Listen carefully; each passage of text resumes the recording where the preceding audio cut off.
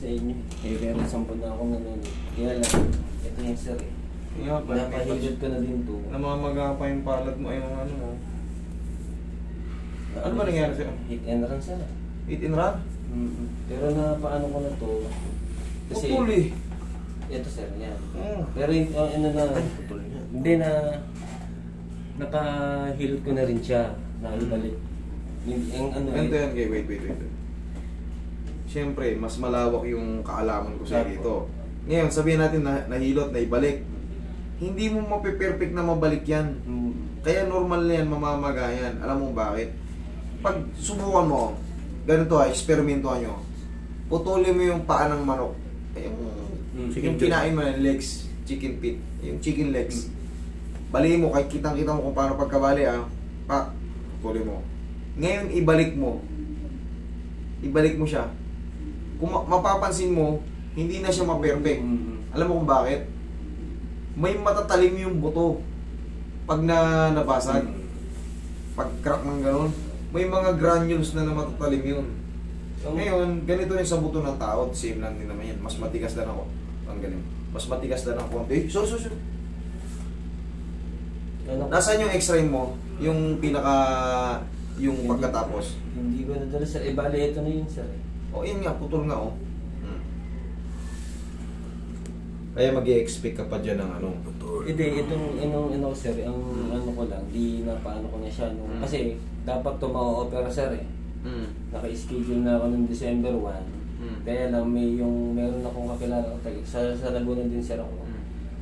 Opera siya dito, pinalagyan niya ng titanium pero hindi niya na magamit yung tatlong dal- hindi niya na maiklam ako kasi nag ano. Alam mo kung bakit?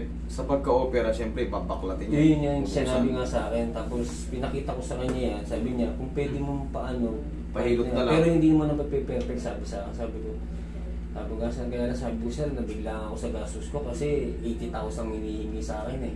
Ano pa yun sa provincial. Eh, sabi ko, wala naman ako pera, buti nga lang ano. Eh, yung sasakyan kong second hand na nabili nung pandemic, na-ibenta ko nga kasi nga iniisip ko na nakapokus sa Magaling. pag-opera. Eh yun na, nakita niya ako, sabi niya, huwag mo nang pa-opera kung maaari. May Kaya inopera sa inyo ron, hindi na Nung naparalisa to. hindi na.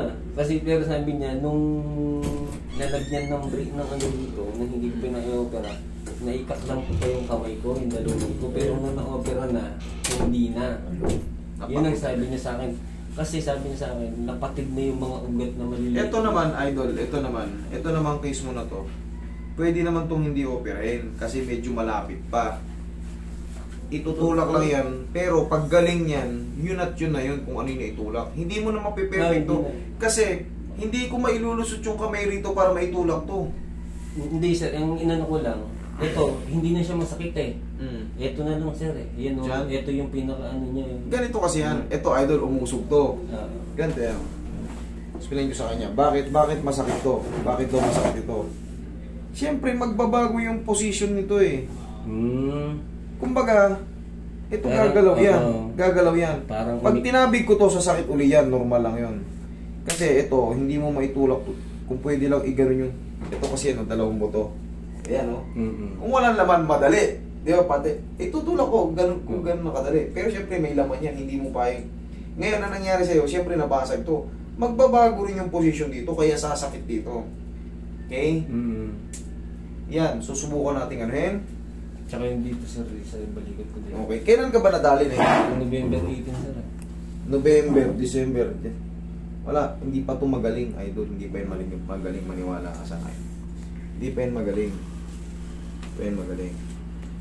3 months ang recovery niya pag proximal. laman. Hindi yan laman, nakaano yan, nakaumbok. Nakaumbok. Oo, ayan o. Oh, ito, pa. Ayan o, pinaka ano. Tap, lalagyan natin to ng karton, parang ikakas natin to, para hindi matabig. Kasi once na matabig to rito, lulubog na naman yan. Kumbaga, gagalaw siya. Yung pag, pag ginaganyan ko sir, eh no, parang bumabalik po siya. Oo, yun nga yun. eh. Kailangan yan, lalagyan natin ng karton. Kumbaga, ikakas natin. Dito, i-align natin para tumulak siya. Tapos, susubukan natin ganun yung konti para, iba nakausdihan pa ganun. Nakaganon yan, no? Kita mo sa x-ray, nakaganon. Mm. Nung hinila nga ito nung tinusan nung naghihilot, tangan, talaga napasigaw ako. Yan, ayan, oh, ganyan yan, no? Ganyan, no? Yan. Mm. ito, ayan, ganyan yan. Siyempre maliit to. Pero yan ang position yan. Dito yung putol eh, makakapa mo. Yan oh. Yan, bali yan dyan. Ngayon ang gagawin ko, inuna hinatak, hin, hinatak na to. Mm. Ngayon, ang gagawin natin dyan, dito ang hawak, tapos medyo didiinan ko rito. Didiinan ng konti. Yan, hindi siya masakit. Okay, didiin. Yan. Para umusog siya kay paparo. Tapos ikakas natin. Ikakas natin. Kasi pag yan natatabig, hindi ka agad makakagaling. Bakit? Siyempre, kung kailan naghihilom na, dumidikit na yung buto, natabig ka na naman. Yun na naman, magduduguran mo ulit yung kay tissue. Tissue, tissue. Tapos parang siyang pag nagagalaw ng boss, siyempre hindi naman ako... 3 months ang full ano yan, kaya hindi... Hindi naman ako pwede... Sabi mo, magaling na, hindi na masakit. Anong hindi masakit? Pag tinabig ko yan, umaray ka. Ganun, eh, ganito, hindi masakit. Pero pag ginanyan Hindi, yan, pag gumagalaw ako, kunyari, na humahawa ko. Kasi bago pa nga na yung asawa ko, walang naghahanap buhay. Kaya, ano kami, kaya nung nag-reply nga, agad akong pumunta rito. Bagong panganak mismo. Oo, eh, wala nang hanap buhay. Naibenta ko na nga yung sasakyan ko, yun nga lang inaano namin. Alam mo, ganito yan. Dahil bagong panganak ang misis mo, ibabayad mo rito, ibili mo na lang ng pagkain nyo. Okay? Hindi totoo sir, kaya nga nung nag-reply Wala nga kang babayaran sa Naka-schedule nga ako si boss nung ano eh, nung nanghilat sa akin bukas eh. Sabi ko, bakit hindi kasi hindi pa gumaan to eh. Hindi ko may cram na maayos. Wala pa to, idol. 3 months ang ano yan. Siyempre, minsan kailangan din natin ng knowledge about sa pag Mm. paghiling ng ano, buto. Putol na putol eh. Yo, 3 months ang ano yan. Nalaganan to ng motor sir. 3 months ang Mga pagkahitin rin sa akin. yan. Tapos dali yan. Uy, wag yan. Yung medyo trauma yan. Ay, masakit. Super ito. Ito ka. Sige, kung lalabanan, relax Sige lang. sir. Nakapara. Oh, Ayun. nag-frozen. Paano ako makapagtrabaho nito? Wala nga sir, di nga ako maka, di nga ako maka. Eh kahit gumaling yun, kung na-frozen ka, hindi wrapping ka rin. Mm. Kaya ano pagka-reply sa akin eh, pumunta agad ako dito.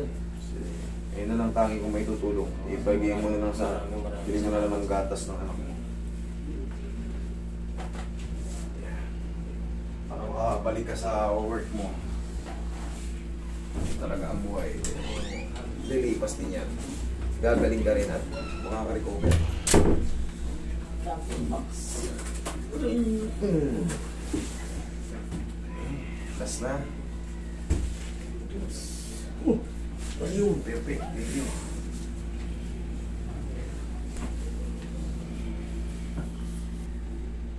Eh, yung asawa ko iyak nang iyak. Nung na, nalaman na lang, nasa ano ako eh. Inatid ako ng ambulansya eh. Maganda talaga pag may CCTV. Siyempre, yung cause of ano mo, accident. Pero siyempre, di amin. Di tumama. Di ka naman tumama sa akin eh.